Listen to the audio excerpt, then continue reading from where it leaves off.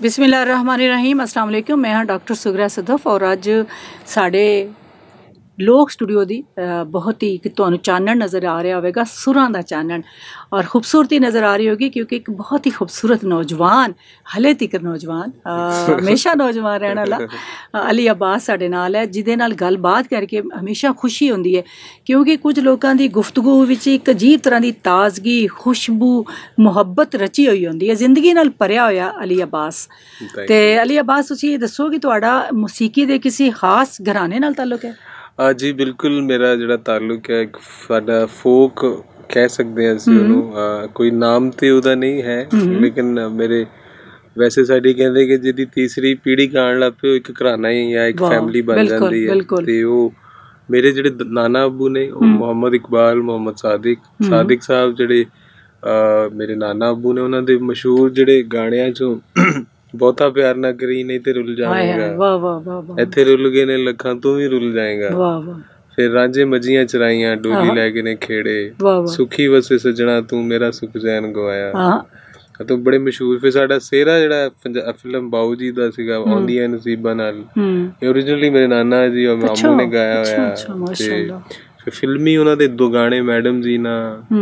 ਮਾਮੂ ਹਸਨ ਸਾਦਿਕ ਸਾਹਿਬ ਉਹ ਅਹ, ਇੱਕ ਬਹੁਤ ਵੱਡਾ ਨਾਮ ਰਿਲੀਜੀਅਸ ਨੋਆਖਾਨੀ ਚ। ਬਿਲਕੁਲ ਬਿਲਕੁਲ ਬਹੁਤ ਵੱਡਾ ਤੇ ਫਿਰ ਨਜ਼ਾਕਤ ਅਲੀ ਅੰਕਲ ਉਹ ਇਜਾਜ਼ ਕੈਸੇ ਸਾਹਿਬ ਉਹ ਵੀ ਸਾਡੀ ਮੇਰੇ ਨਾਨ ਮਾਮੂ ਲੱਗਦੇ ਨੇ ਮੇਰੇ ਉਸਤਾਦ ਵੀ ਨੇ ਗਜ਼ਲ ਸਿੰਗਰ ਨੇ ਹਾਂ ਬਹੁਤ ਅੱਛੇ ਫਿਰ ਕਜ਼ਨ ਨੇ ਅਮਾਨਤ ਹੈ ਆਪਣਾ ਛੋਟਾ ਭਰਾ ਅਸਦ ਹੈ ਮਤਲਬ ਸਾਰੇ ਹੀ ਕੋ ਅਲਹਮਦੁਲਿਲਾ ਅਮਾਨਤ। ਤੁਹਾਡੇ ਚਾਚਾ ਬੇਟੇ- ਅੱਛਾ ਮਾਮੂਜ਼ਾਦ, ਮਾਮੂਜ਼ਾਦ ਅੱਛਾ ਅੱਛਾ ਅੱਛਾ ਤੇ ਮਾਸ਼ਾਅੱਲਾ ਫਿਰ ਤੁਹਾਡਾ ਇੱਕ ਪੂਰਾ ਇਸ ਘਰਾਣੇ ਦਾ ਤੁਹਾਨੂੰ ਨਾਂ ਰੱਖ ਲੈਣਾ ਚਾਹੀਦਾ। ਹੈ ਬਸ ਹੋਰ ਲੇਕਿਨ ਸਾਡਾ ਇਹ ਕਿ ਅਸੀਂ ਜੁੜੇ ਆਪਣੇ ਕਲਚਰ ਔਰ ਇਹ ਚੀਜ਼ਾਂ ਦੇ ਨਾਲ ਹੀ ਆ ਆਪਣੇ।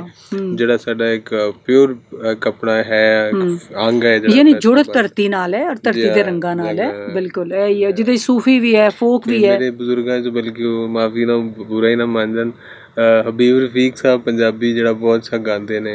ਉਹ ਵੀ ਮੇਰੇ ਨਾਨਾ ਹਬੀਬ ਅਲੀ ਸਾਹਿਬ? ਹਬੀਬ ਰਫੀਕ। ਹਬੀਬ ਰਫੀਕ ਹਾਂ ਹਾਂ। ਰਾਤ ਦੀ ਦੇ ਢੋਲਣਾ।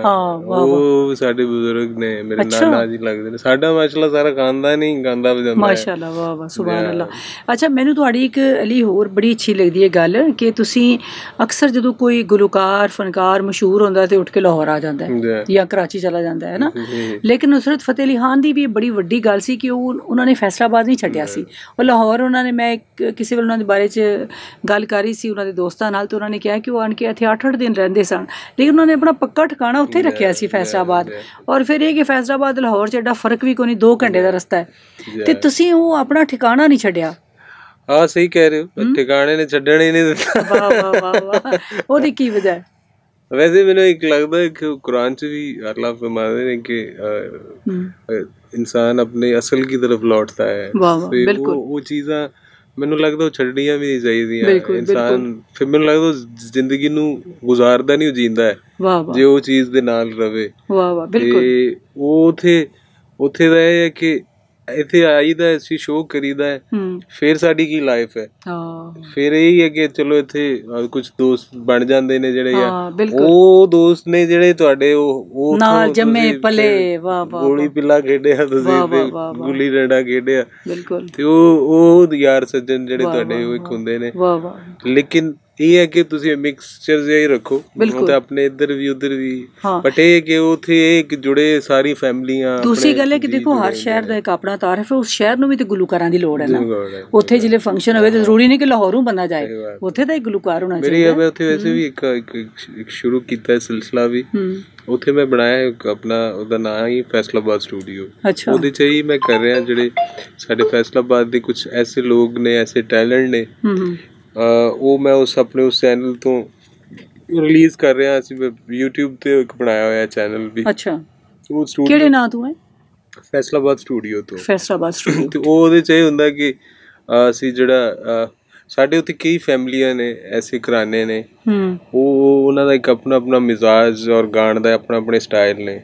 ਉਹ ਫਿਰ ਅਸੀਂ ਉਹਨਾਂ ਨੂੰ ਬੁਲਾ ਕੇ ਉਹਨਾਂ ਦਾ ਉਹ ਬੈਸਟ ਜਿਹੜਾ ਉਹ ਰਿਕਾਰਡ ਕਰ ਰਹੇ ਆ ਕੋਈ ਜਿਹੜਾ ਜਿਹਦਾ ਉਹ ਇਹ ਕਿ ਲੋਕਾਂ ਤੱਕ ਜਾਵੇ ਕਿ ਸਾਡੇ ਫੈਸਲਾਬਾਦ ਹੈ, ਐਸਾ ਟੈਲੈਂਟ ਵੀ ਹੈ, ਇਹ ਚੀਜ਼ਾਂ ਵੀ ਉੱਥੇ ਐਸੇ ਲੋਕ ਵੀ ਨੇ, ਇਹ ਪਲੇਟਫਾਰਮ ਅਸੀਂ ਉੱਥੇ ਦਿੱਤਾ ਹੈ ਕਿ ਚਲੋ ਇਹ ਹੈ ਕਿ ਉਹਨਾਂ ਨੂੰ ਕੋਈ ਐਸੀ ਬਾਹਰ ਜਾ ਕੇ ਜਿਹੜੀ ਤਕਲੀਫਾਂ ਹੁੰਦੀਆਂ ਉਹਨਾਂ ਨੂੰ ਫੇਸ ਨਾ ਨਹੀਂ ਬੜੀ ਕਰਨੀ ਅੱਛੀ ਗੱਲ ਹੈ ਔਰ ਐਂਟਰਟੇਨਮੈਂਟ।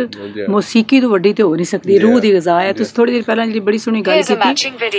ਕਿ ਤੁਸੀਂ ਜਿਹੜਾ ਨਾ ਕਿ ਜਿੱਥੇ ਦੀ ਮਿੱਟੀ ਹੁੰਦੀ ਹੈ ਨਾ ਉਹਦੇ ਨਾਲ ਹੀ ਖਾਸ ਤਾਲੁਕ ਹੁੰਦਾ ਹੈ। ਔਰ ਮੌਲਾਨਾ ਰੂਮ ਕਹਿੰਦੇ ਨੇ ਕਿ ਬਾਂਸਰੀ ਦੀ ਲੱਕੜੀ ਕੋਲੋਂ ਸੁਣੋ ਵਿਛੋੜੇ ਦਾ ਦਰਦ। ਕਿਉਂਕਿ ਉਹ ਹਰ ਵੇਲੇ ਰੋਂਦੀ ਹੈ। ਉਹਦੀ ਆਵਾਜ਼ ਜਿਹੜੀ ਤੁਹਾਨੂੰ ਇੱਕ ਨਾਲਾ ਜਾਂ ਨਜ਼ਰ ਆਉਂਦਾ ਉਹ ਅਸਲ ਜਿਹੜੀ ਦਰਖਤ ਨਾਲ ਕੱਟ ਕੇ ਉਹਨੂੰ ਬਣਾਇਆ ਜਾਂਦਾ ਉਹਨੂੰ ਯਾਦ ਕਰਦੀ ਹੈ। ਤੇ ਇਸੇ ਤਰ੍ਹਾਂ ਜਿਹੜੀ ਤੁਹਾਡੀ ਸਾਡੀ ਮਿੱਟੀ ਹੈ ਨਾ ਉਹ ਵੀ ਸਾਡੇ ਇਲਾਕੇ ਦੀ ਮਿੱਟੀ ਹੈ। ਉਹ ਸਾਨੂੰ ਆਵਾਜ਼ਾਂ ਮਾਰਦੀ ਰਹਿੰਦੀ ਹੈ। ਅਸੀਂ ਅਗਰ ਉਹਦੇ ਤੋਂ ਦੂਰ ਜਾਾਂਗੇ ਬਹੁਤੇ ਤੇ ਇੱਕ ਅਸੀਂ ਫਿਰ ਮਸਨੂਈ ਜ਼ਿੰਦਗੀ ਗੁਜ਼ਾਰਦੇ। ਠੀਕ ਹੈ ਨਾ? ਕਿਉਂਕਿ ਸਾਡਾ ਉਹਨਾਂ ਦਰਖਤਾਂ ਨਾਲ ਵੀ ਸਾਡਾ ਇੱਕ ਤਾਲੁਕ ਹੁੰਦਾ ਹੈ। ਉਹਨਾਂ ਹਵਾਵਾਂ ਨਾਲ ਹੈ ਨਾ? ਲੋਕਾਂ ਨਾਲ।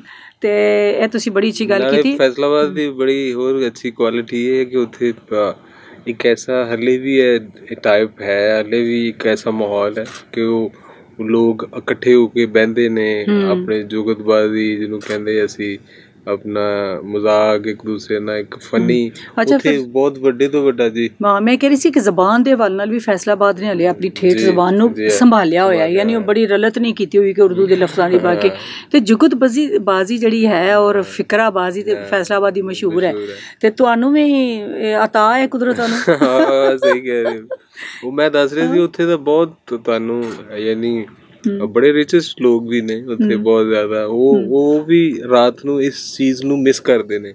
ਉਹ ਨਿਕਲਦੇ ਨੇ ਫਿਰ ਉਹ ਜਾਣ ਬੁੱਝ ਕੇ ਉਹਨਾਂ ਨੇ ਐਵੇਂ ਬਣਾਏ ਨੇ ਉੱਥੇ ਬੈਠਣਾ ਆਪਣੇ ਆਪਣੇ ਜਿੱਥੇ ਜਿੱਥੇ ਬੈਠਦੇ ਨੇ। ਉੱਥੇ ਇੱਕ ਅੱਧਾ ਦੋ ਐਸੇ ਲੋਕ ਹੁੰਦੇ ਨੇ ਜਿਹੜੇ ਇਸ ਚੀਜ਼ ਦਾ ਮਜ਼ਾ ਲੈਂਦੇ ਨੇ ਆਪੋ। ਲੇਕਿਨ ਆਪਣੀ ਲਾਈਫ ਨੂੰ ਜੀਂਦੇ ਨੇ। ਹੂੰ ਮਤਲਬ ਬਸ ਦੱਸਣ ਦਾ ਮਕਸਦ ਹੈ। ਬਿਲਕੁਲ ਸਹੀ ਗੱਲ ਹੈ।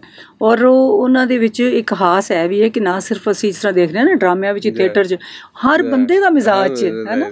ਕਿਉਂਕਿ ਮੇਰਾ ਫੈਸਲਾਬਾਦ ਬੜਾ ਆਣਾ ਜਾਣਾ ਰਹਿੰਦਾ ਤੇ ਮੈਂ ਦੇਖਨੀ ਆ ਕਿ ਬ- ਪਿਓ ਪੁੱਤਰ ਨੂੰ ਜੁਗਤ ਲਾ ਰਿਹਾ ਹੁੰਦਾ ਹੈ ਬਜ਼ੁਰਗ ਜਿਹੜੇ ਨਾ ਬੱਸ ਬਜ਼ੁਰਗ ਮੈਂ ਨਾਨਾ ਜੀ ਦਾ ਨਾਮ ਲੈ ਰਿਹਾ ਹਾਂ। ਸੀ ਉਹ ਬੱਸ 'ਚ ਬੈਠੇ ਨੇ ਤੇ ਉਹ ਸਿਗਰਟ ਪੀਂਦੇ ਸਨ।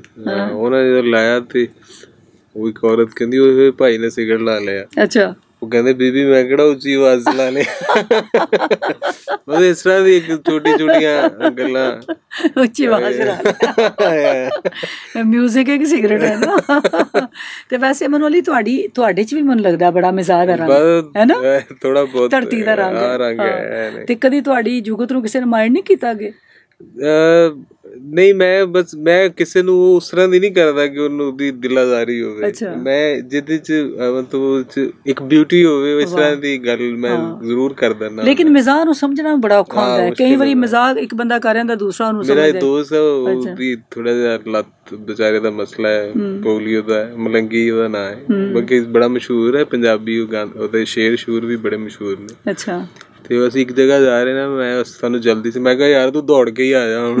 ਤੇ ਇਦਾਂ ਹੀ ਮਤਲਬ ਛੋਟੀਆਂ ਛੋਟੀਆਂ। ਹਾਂ ਬਿਲਕੁਲ ਬਿਲਕੁਲ ਸਹੀ ਗੱਲ ਹੈ। ਤੇ ਤੁਸੀਂ ਪਹਿਲਾਂ ਕਿਹੜਾ ਗਾਣਾ ਗਾਇਆ ਸੀ? ਮੇਰਾ ਜਿਹੜਾ ਚੀਜ਼ ਰਿਹਾ ਉਹ ਬੜਾ ਇੱਕ ਮਜ਼ੇਦਾਰ ਮੇਰੀ ਜਰਨੀ ਰਹੀ ਹੈ। ਮੈਂ ਜਦੋਂ ਸਟਾਰਟ ਇੱਕ ਬਲੇਸਿੰਗ ਸੱਟ ਰਹੀ ਹੈ ਐਸਾ ਹੀ ਕੁਦਰਤ ਦੀ ਉਸ ਚੀਜ਼ ਤੋਂ ਬਗੈਰ ਇਨਸਾਨ ਕਦੀ ਵੀ ਮੇਰਾ ਖਿਆਲ ਉਹਨੂੰ ਕਰਨਾ ਵੀ ਨਹੀਂ ਚਾਹੀਦਾ ਅਗਰ ਉਹਦੇ ਚ ਉਹ ਸਲਾਹੀਅਤ ਨਹੀਂ ਹੂੰ। ਤੇ ਉਹ ਮੇਰੇ ਚ ਥੋੜਾ ਬਹੁਤ ਜਰਮਸ ਕਹਿ ਲੋ ਬਚਪਨ ਦੇ ਹੀ ਸਨ। ਮੈਂ ਬਹੁਤ ਛੋਟੀ ਏਜ ਸੀ ਜਿਸ ਤਰ੍ਹਾਂ ਨਾਤ ਪੜ੍ਹਨੀ ਔਰ ਆਪਣਾ ਸਕੂਲ ਪ੍ਰੇਅਰਸ ਸੀ ਜਿਸ ਤਰ੍ਹਾਂ ਵੀ ਕਰੀਦਾ ਸੀ ਉਹ ਬੜਾ ਰਿਹਾ ਮੇਰਾ। ਫਿਰ ਇੱਕ ਟਾਈਮ ਮੇਰਾ ਆਇਆ ਜਿਸ ਮੈਂ ਆਇਆ 6-7 ਸਾਲ ਦੀ ਏਜ 'ਚ 8 ਸਾਲ ਦੀ। ਤੁਸੀਂ ਯਕੀਨ ਕਰੋ ਮੈਂ ਮਹਿਦੀ ਹਸਨ ਸਾਹਿਬ ਨੂੰ ਸੁਣ ਕੇ ਉਸ ਏਜ 'ਚ ਰੋਂਦਾ ਹੁੰਦਾ ਸੀ। ਮੈਨੂੰ ਇਸ ਚੀਜ਼ ਹੀ ਨਹੀਂ ਸਮਝ ਆਈ ਸੀ। ਅੱਛਾ। ਲੇਕਿਨ ਉਹਦੀ ਫਿਰ ਬਾਅਦ 'ਚ ਸਮਝ ਆਈ ਕਿ ਇਹ ਸਿਰਫ ਇਹ 뮤직 ਹੈ। ਇਹ ਉਹਦੀ ਅਤਾ ਹੈ ਜਿੱਥੇ ਵਾਹ, ਵਾਹ, ਸੁਰ ਚ ਰੋਣਾ ਵੀ। ਸੁਰ ਸੁਰ ਹੈ ਉਹਦੇ ਉਹ ਚੀਜ਼ ਮੈਨੂੰ ਇਸ ਚੀਜ਼ ਨਾਲ ਖਿੱਚਦੀ ਸੀ।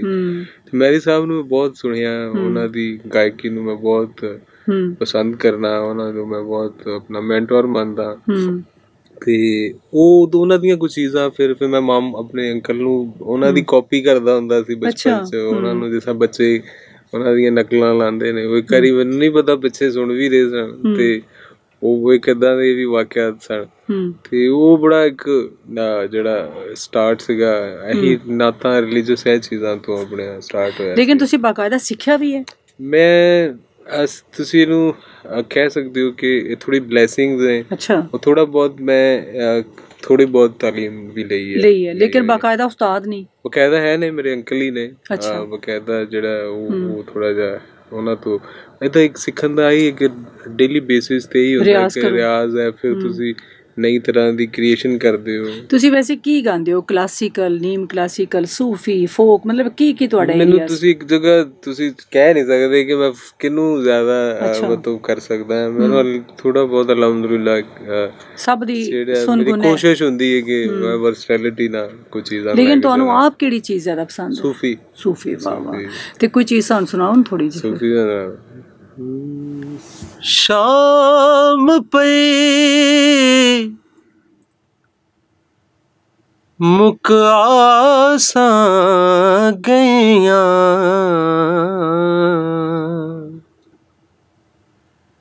नी मेरा छड़ गए काग बनेरा। माँ पे सब ਸਹੇਲੜੀਆਂ। ਨੀ ਮੈਨੂੰ ਤਾਂ ਨਾ ਦੇ ਦੇ ਤੇਰਾ। ਕਹਿਣ ਲੱਗ ਕੇ ਲੋਕਾਂ ਦੇ ਢੋਲਾ ਛੋੜ ਦਿੱਤਾ ਘਰ ਮੇਰਾ। ਵਾਹ ਵਾਹ। ਆ ਸਰਦਾਰ ਵਸਾ ਜਾ ਚੋਕਾਂ। ਉਹ ਕਦੀ ਪਾਤੜੀ ਵੱਲ ਆਹ, ਫੇਰਾ। ਵਾਹ। ਕਦੇ ਆਵੇ ਮਾਹੀ ਗਲ ਲਗਵੇ। ਤੇਰੀ ਦੀਦ ਗਰੀਬਾਂ ਦਾ ਹਜਵੇ ਹਵੇ ਕਦੇ ਆਵੇ ਮਾਹੀ ਗਲ।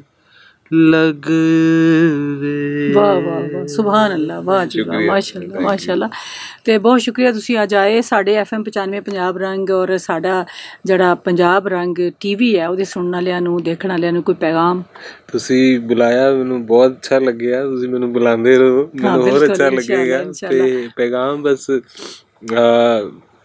उनका है काम अहल सियासत वो जाने। मेरा पैगाम मोहब्बत है जहाँ तक पहुँचे। सो यही पैगाम है मोहब्बत जहाँ तक ਪਹੁੰਚੇ ਸੁਭਾਨ ਅੱਲਾ ਬਹੁਤ ਸ਼ੁਕਰੀਆ ਅਲੀ ਅਬਾਸ ਔਰ ਅਲੀ ਅਬਾਸ ਨੂੰ ਤੁਸੀਂ ਅਸੀਂ ਇਨਸ਼ਾਅੱਲਾ ਇਹਨਾਂ ਦੇ ਗਾਣੇ ਤੁਹਾਨੂੰ ਸੁਣਾਉਂਦੇ ਰਹਿੰਦੇ ਆ ਔਰ ਆਇੰਦਾ ਵੀ ਸੁਣਾਉਂਦੇ ਰਵਾਂਗੇ ਇਹਨਾਂ ਦਾ ਇੱਕ YouTube ਚੈਨਲ ਹੈ ਫੈਸਲਾਬਾਦ ਸਟੂਡੀਓਜ਼ ਦੇ ਹਵਾਲੇ ਨਾਲ ਉਹ ਵੀ ਹੈ ਮੇਰਾ ਪਰਸਨਲ ਵੀ ਹੈ ਅਲੀ ਅਬਾਸ ਆਫੀਸ਼ੀਅਲ ਵੀ ਹੈ ਪਰਸਨਲ ਇਹਨਾਂ ਦਾ ਅਲੀ ਅਬਾਸ ਆਫੀਸ਼ੀਅਲ ਹੈ ਉੱਥੇ ਜਾ ਕੇ ਤੁਸੀਂ ਇਹਨਾਂ ਦੇ ਨਵੇਂ ਨਵੇਂ ਗਾਣੇ ਇਹਨਾਂ ਦੀਆਂ ਹਰਕਤਾਂ ਇਹਨਾਂ ਦੀਆਂ ਬਾਕੀ ਬਿਲਕੁਲ, ਬਿਲਕੁਲ।